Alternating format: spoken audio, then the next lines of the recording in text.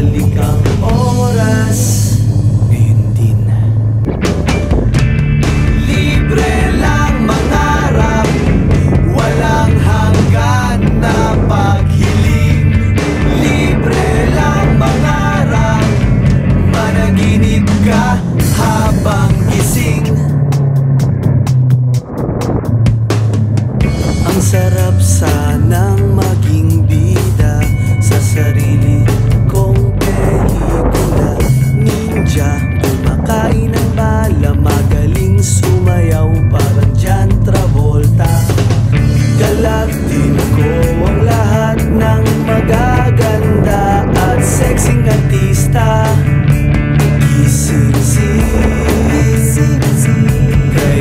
in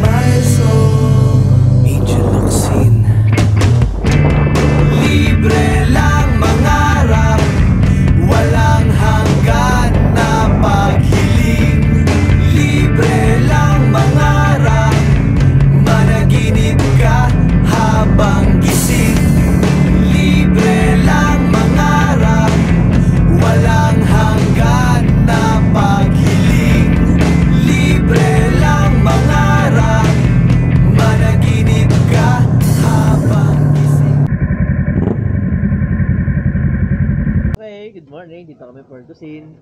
Libre, libre ngayon ang libre ngayon ang almusal namin. Kasi nadali na naman kami ni Mr. Sabado. ang usapan alas 6 yung meet up.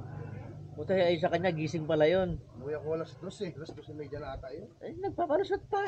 Nagpapalusot pa. Alas 12 medya na. Maya mga, hindi inipo mo yung motor. Kaya mainit pa kaya yun. Libre, libre kami ngayon ng almusal. Salamat kay Mr. Sabado. Ayan.